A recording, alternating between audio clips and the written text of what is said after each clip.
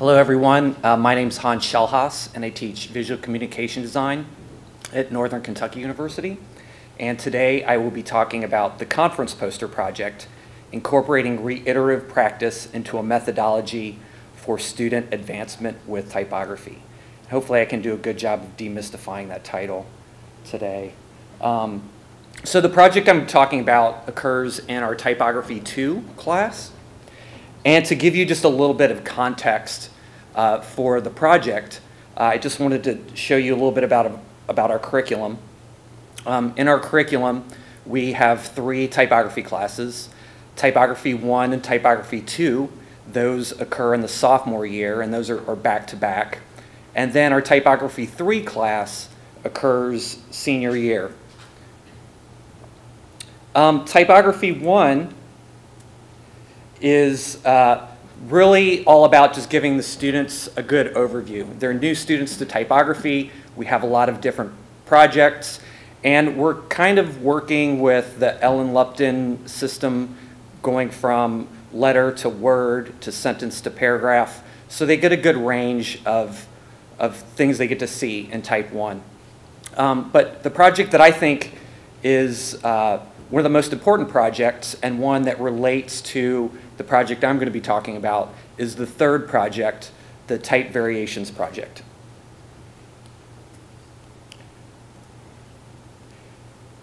And in Typography 2, uh, that's really all about text design. So that's, that's important because when students are engaging with typography in the professional world, that's probably how they're going to be using type most of the time, working with quantities of information, working with text.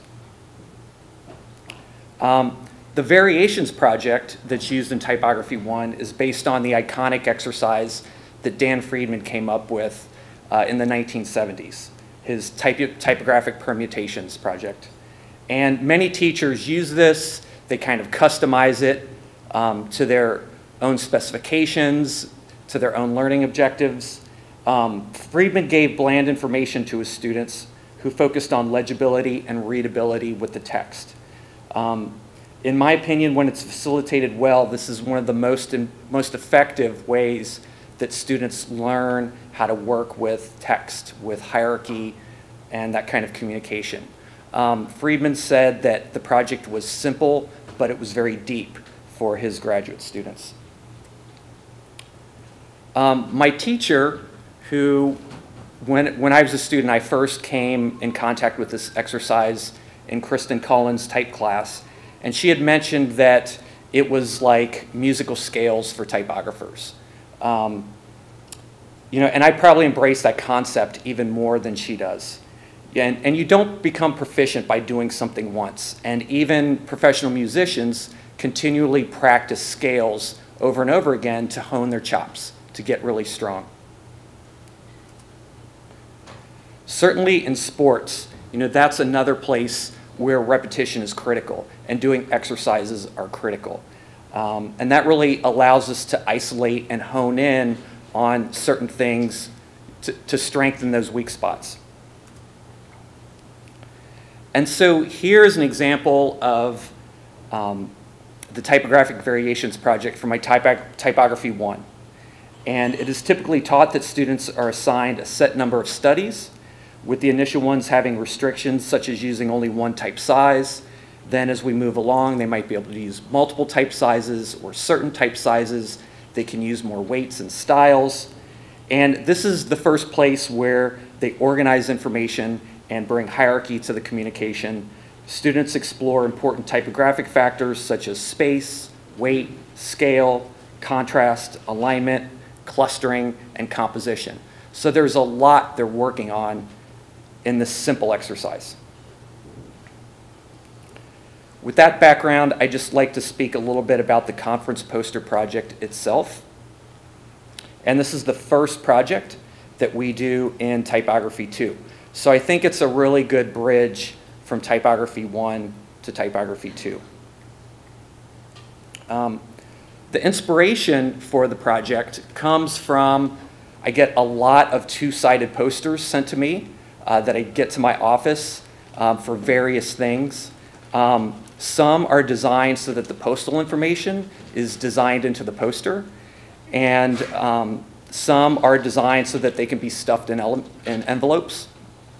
Um, but what they typically have is on one side, there's more minimal information where it's a grand announcement. And on the back, uh, there might be a schedule or a list of events. It's, it's more informative on the back. It can be hung on both, on either side, but each side has a little bit different of a function. And so to summarize the brief that I give them for this project, students will design a two-sided poster with text provided by me. They may add copy to it. They could add quotes or anything else to enhance it, but they can't take copy away. Students will determine the format size. And the process begins by performing five typ typographic variation studies with the abbreviated version of the copy to help pre-visualize the final layout. I'll be explaining that in a minute here. And there are four structured phases to this project. It's, it's very structured how they go through the process. Uh, there's this variation stage and a uh, concept generation stage and an image combination stage and then the final poster design. So they're building up to the final poster. The copy that they're going to use is pre-written copy that I provide them. I've written it. Um, the first one is called Human Rights in the 21st Century, a conference for change. Future Living, a conference for designing a sustainable tomorrow. Type Talk Text, a conference on typography. And you're going to see examples of all of these, but since I've been giving it for a few years, I took away the Human Rights in the 21st Century copy because the students are new and as they're working with imagery, um, sometimes they weren't very culturally sensitive to the images they would be using.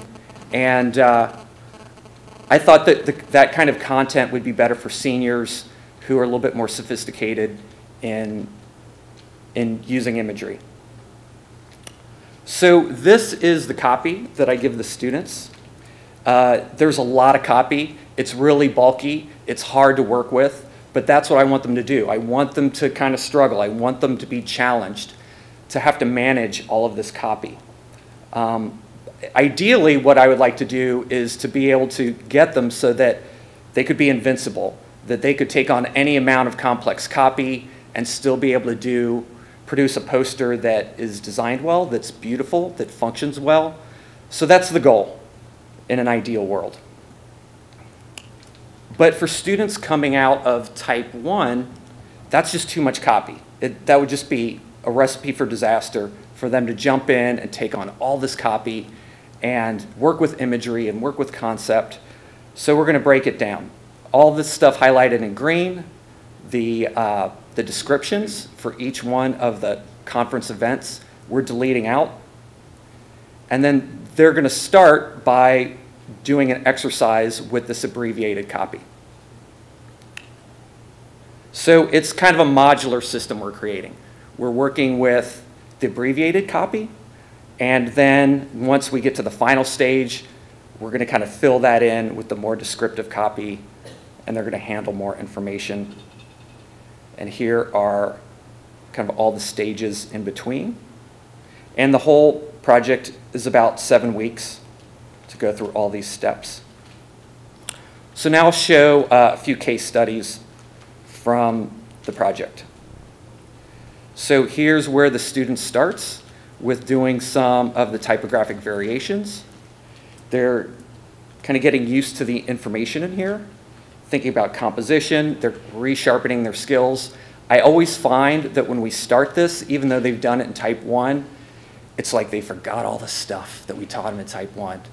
So it, it's just a really good re-strengthening, re-grounding, resounding exercise to start out with.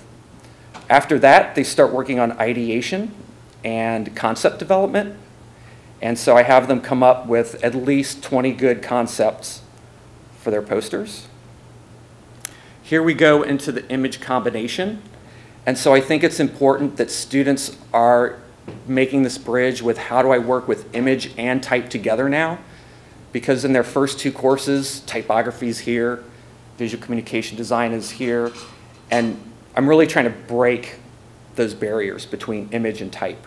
So I have them, they have to combine at least three images or two images and type and just play and experiment and see what comes out of it. So she's working on some different ideas here.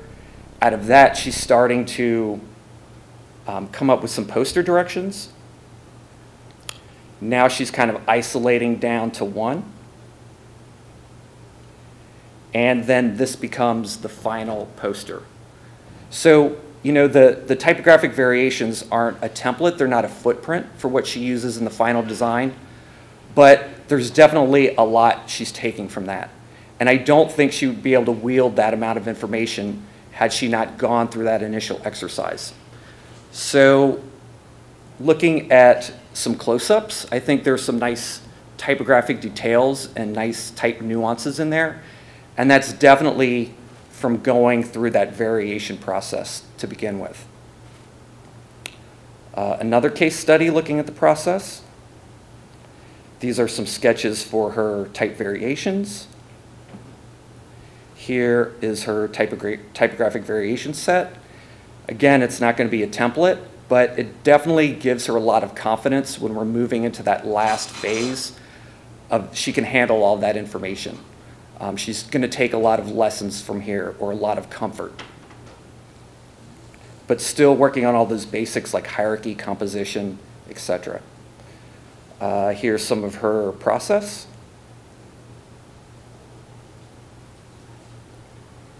Exploring different concepts. Here are some of her type image combinations.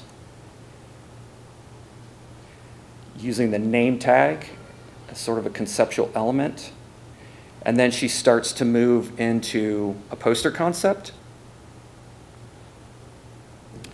And here's her final. Um, I think overall she was able to achieve a, a good structure, a good organization to, to the information. I think the concept is solid. Um, maybe some of the image choices could have been a little bit stronger, but um, overall she was able to, I think, achieve a number of different things and bring all that stuff together by working through the steps. Another case study as far as the process goes. And this is the concept development stage. And this is pretty typical of what I get a lot of times where the thumbnail sketches are really rough and um, that can be okay because I'm not looking for a design plan at this stage. I'm really looking for ideas and I'm looking for concepts. I think a lot of that design planning we're really taking care of in the variation stage or getting used to the, the copy there. Here is her image combination stage. And these are kind of rough. They're not great. But again, this is really new to her. And so she's trying to figure out how do I bring some of these things together. You know, maybe in the past she's only used one image on its own before, and now she's combining a few. Another study, kind of one-dimensional, but as we, as she adds, as she develops and layers in other imagery, such as the um, wind power and the idea of the urban and the environment, we have a, a more, a more sophisticated story going on. Here's her first crack at trying to bring the type and the image together on the back. And as we can see, it feels like kind of an awkward dance. You know, the, the type and the image are clashing, they're fighting with each other. But she starts to work that out. Starts to be more of a space creator. And here's her final solution. Certainly there are some things she could still do to refine the poster, but I think we can really see a learning process going through of how she's better understanding how to balance type and image and structure and composition. Uh, here are some additional examples, and these are more final solutions. Um, here's a solution where the student did his own photography and somehow convinced his classmates to do the shoot. And I don't know how he shot, maybe he Maybe the, the feet are is borrowed imagery. But um, I think, again, a pretty good balance with type and image and structure and hierarchy. Um, he was able to come to something very sophisticated, I think, at the end with balancing all of those things. Uh, this concept was uh, sort of a Mother Earth kind of idea where she's working with collage and again, bringing together different, different elements to tell the story, figuring out how to balance that with type and image. And again, there's a lot of clunkiness that goes through this whole process of, of how to get there. But I think the process helps with that. Uh, another example, again, where a student shot his own photography, that's, that's him, and I think he had a friend help him with the camera. This was inspired by some of the content talking about uh, torture. And um, so I like when they're able to make a good connection with, with the content, with their concepts.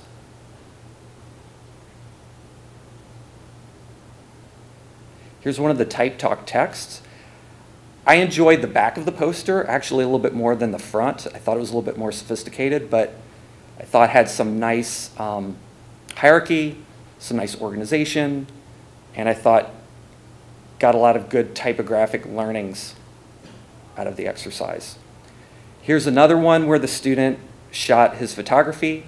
Uh, we have a letterpress in our studio, so he was able to use some of that stuff in creating imagery. Um, this was from the first time I taught the project, and the first time around, I actually had them work in the folds and they had to design it so that it could be mailed out with all the postal information on there. Um, but I think that just is a little too much for sophomores on top of everything else. But I think he came to a, a nice conclusion and how to figure that out. Here's another concept where the idea would there would be these perforated tabs on the front, and when you remove them, uh, you would see the image underneath. And uh, so all the conference information would be on the tabs. So the idea is you'd have this collection of cards, and then this would be kind of like your guidebook for the conference, that you could take the cards with you. Uh, another concept about, you know, with the fingerprint, about the idea of the actions of one, and then juxtaposing that against community and masses in a social movement. The student took an illustrative approach, and it was kind of a fun Rube Goldberg inspired approach where we have the old energy, the unsustainable energy on the back, or on the front, and then on the back we have the more sustainable ways of, of how to work with energy. Trying some different ways on the back to integrate type and image. Um, kind of thinking back about the project, one of the things that I'm trying to do with sort of this reiteration and bringing that exercise back in is a lot of times when we're teaching these more advanced courses, we're thinking about what the next new thing is, what the next more challenging thing is. And it kind of looks like a model like this, where those things are separate. But I think it's really important before we move on to the next thing that we're making sure that the students are getting some really solid fundamentals before we're taking on those next new things. If the fundamentals are solid and we move on, I think they're going to do much stronger work and get just get more out of that. So that's kind of the trying to make a bridge here, trying to really reemphasize things at each level as we go through. And I think that's kind of the sweet spot there is the overlapping part. Thank you very much.